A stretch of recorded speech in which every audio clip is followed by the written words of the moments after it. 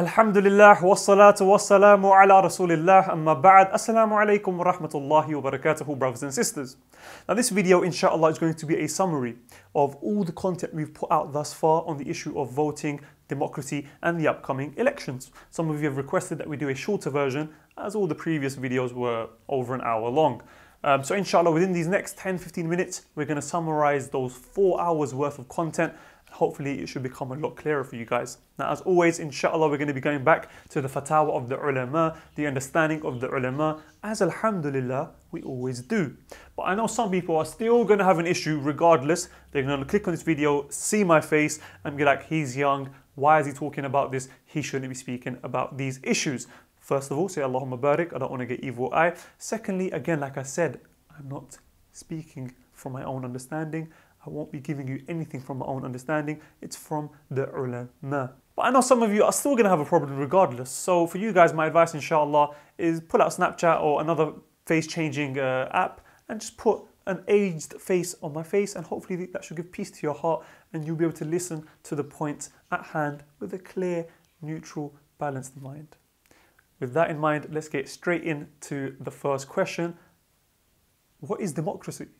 Democracy is a system of governance and legislation whereby which the people selected an authority, they enforce law, they create and legislate and come up with law, and then they also interpret the law themselves. So in other words, it's man-made law, interpreted by man and enforced by man. Okay, so what's the relationship between democracy and voting? Voting in a general election is actually the foundation upon which a democratic government stands. Without a general election, there would be no democracy.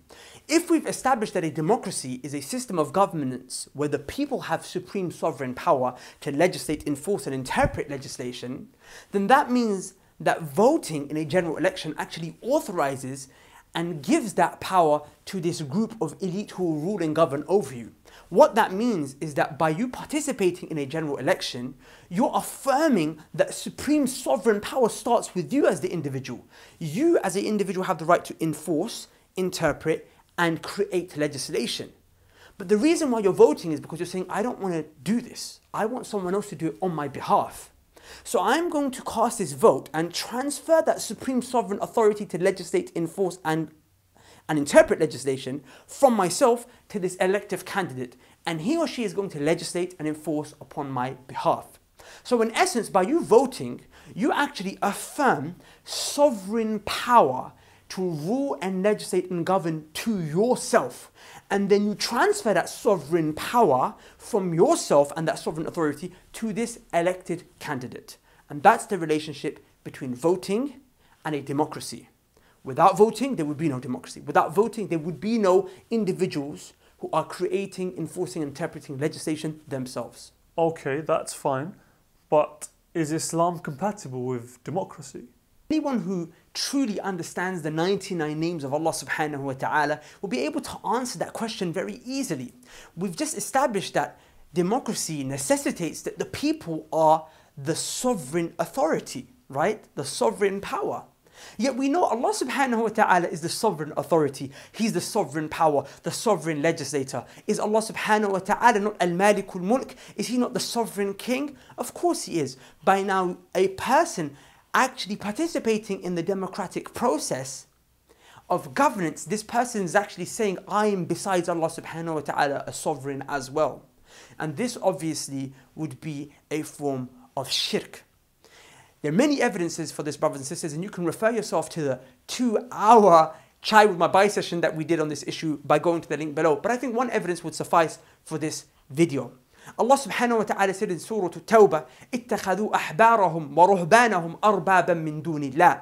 Allah said, talking about the people of the book, that they took their rabbis and their monks as gods. Now, when the Prophet ﷺ recited this verse, there was a companion called Adi radiallahu anhu who said to the Prophet ﷺ, he said, the Christians, they never worship their monks, as the verse says. They took their monks as gods. He said they never took them as gods. And the Prophet ﷺ told them that yes, they did take them as gods. Why?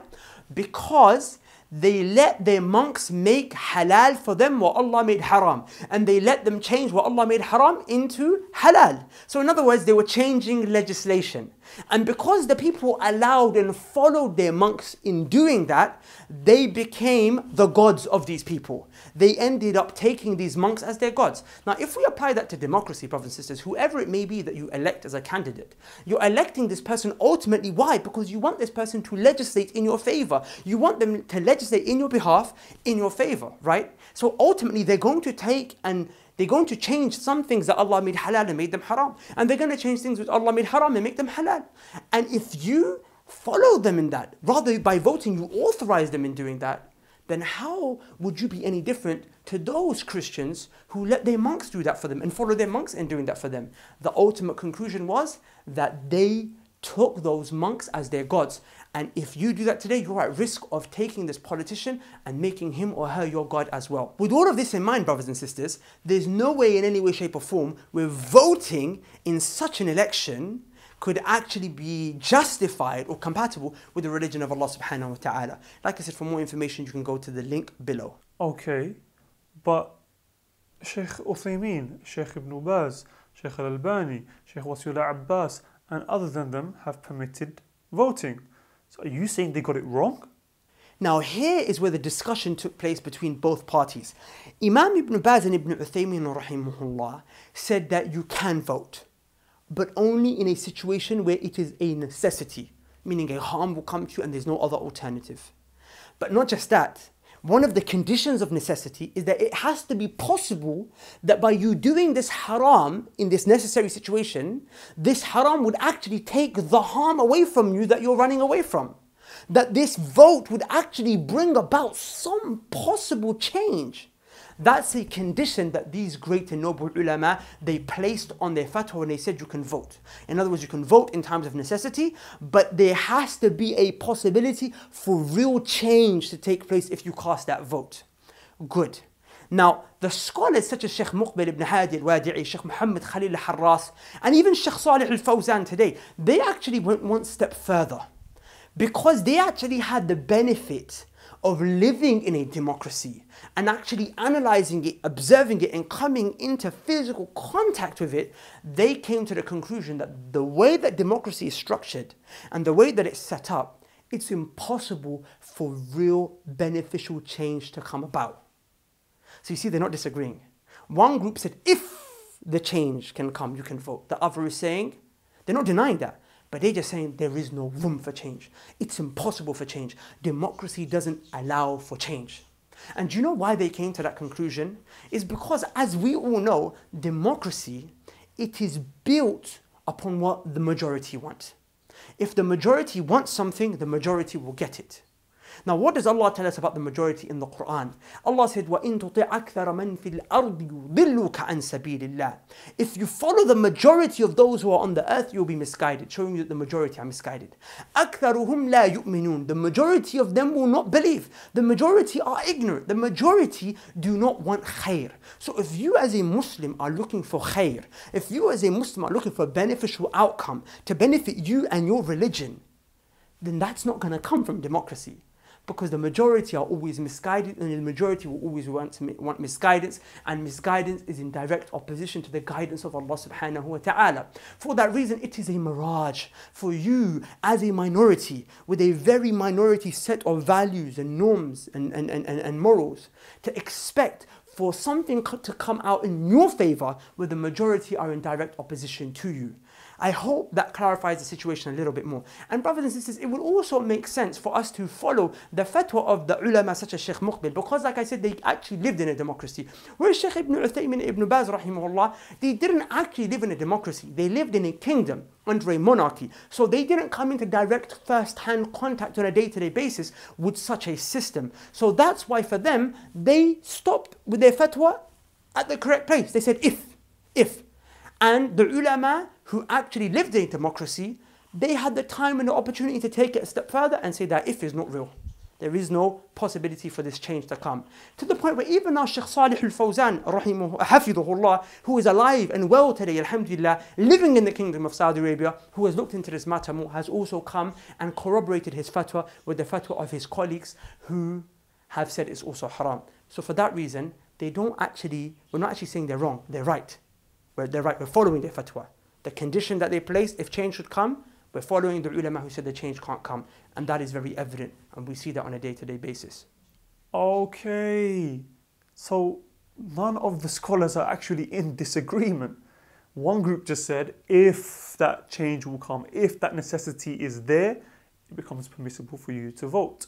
The other group said that necessity is never there because that change will never occur. Let me give you guys an example. Let's say, for example, there's someone in the desert and he's dying of thirst, and the only thing available to drink is alcohol. If he doesn't drink it, he will die.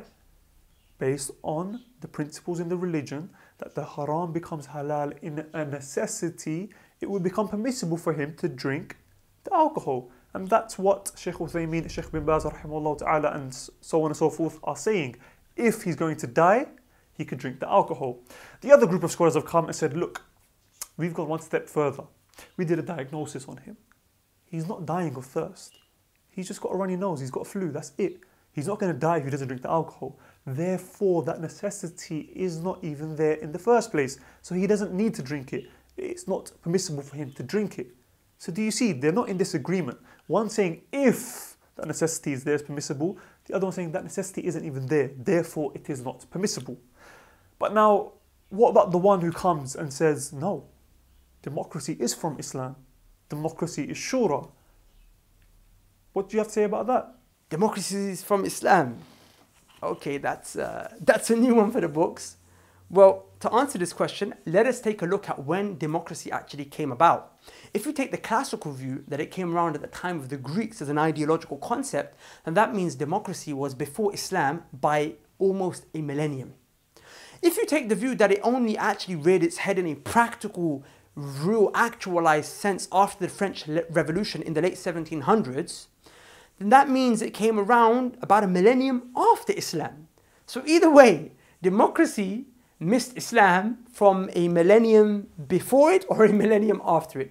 And I don't think it can be reconciled in any way, shape, or form to say that they're exactly the same. Not only to add on to that, that no scholar ever said that democracy in Islam is the same. I don't know where someone will get such an outrageous statement from. And to say that shura and democracy are the exact same thing, well, we've already established that democracy is where people come together to create law.